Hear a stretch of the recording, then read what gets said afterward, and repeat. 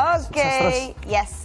Good People terbiasa menulis lirik lagu, Piu Padi mengembangkan bakatnya dalam penulisan novel. Ya, dia baru saja merilis novel perdananya yang berjudul Sesuatu Yang Indah.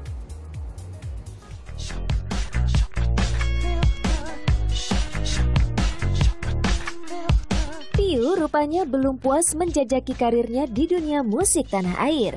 Karena kemarin, ia baru saja merilis novel perdananya yang terinspirasi dari lagu miliknya sendiri yang berjudul Sesuatu Yang Indah. Apa alasan pria berusia 41 tahun tersebut memantapkan hati untuk menulis sebuah novel?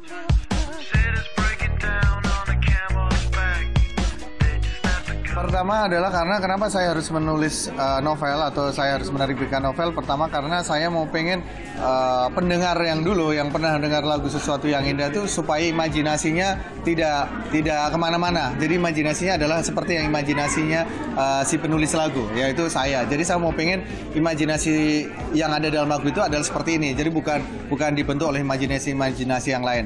Itu yang pertama. Lalu yang kedua karena apa? Karena saya mau pengen membentuk uh, apa karya-karya saya yang udah ada yaitu karya uh, lagu atau karya karya musik. Ini bisa menjadi apa aja? Bisa menjadi buku bisa menjadi film. Karena kemarin saya sudah mencoba untuk membuat film uh, aku cinta kamu. Itu diambil dari lagu-lagu saya yang yang album solo saya. Ada firasatku ada cinta itu adalah ada sakit hati ada jenis uh, memulai ini supaya supaya nanti nextnya saya akan bisa mau oh saya mau bikin karya yang lain. Dengan tulisan atau dengan cerpen atau dengan macam-macam.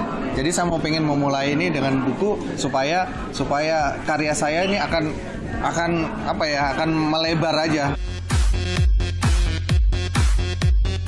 Sebagai musisi yang sudah terbiasa menulis lagu, Iyo mengaku tidak mendapat banyak kesulitan. Ia hanya membutuhkan waktu sebentar untuk menyelesaikan karya terbarunya itu kesulitan sih uh, notabene nggak ada secara garis besar nggak ada. Karena apa? Karena ketika saya pertama kali ketemu dengan Stanley itu seperti kebuka. Oh iya berarti saya, saya mungkin bisa kerja sama atau kolaborasi dengan Stanley Maulen yang memang notabene dia adalah seorang uh, penulis yang total waktu yang saya apa yang kita perlukan saya dengan Stanley Maulen itu adalah tiga bulan. Dari proses pertama ketemu dengan Stanley terus selalu uh, kita brainstorming uh, apa namanya ide-ide yang ada dalam kepala saya lalu dituangkan dalam dalam apa namanya dalam tulisan dan segala macamnya itu tiga bulan.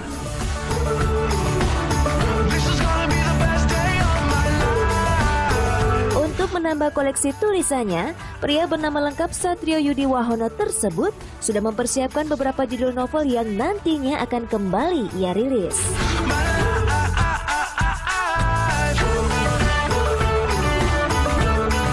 Beberapa judul lagu uh, yang akan siap untuk uh, saya rilis bukunya.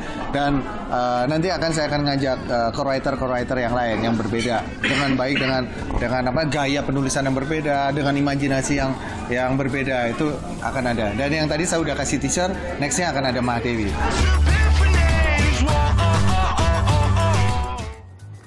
Menarik sekali. Aku harus baca nih kalau kayak kita itu kan sesuatu yang indah tuh kalau nggak salah salah uh, salah satu uh, single dari Padi yang sangat terkenal juga. Gitu kan. Hmm. Nah jadi uh, waktu itu Pio juga bilang kenapa di akhirnya menulis ini karena supaya uh, apa ya pen, uh, pendengar pendengar lagu sesuatu yang indah ini uh, sudah nggak perlu ke mana-mana lagi bayangannya gitu loh. Nanti okay, itu semua sudah dituangkan dalam... di dalam buku. Jadi tahu okay. oh ini sebenarnya artinya gitu.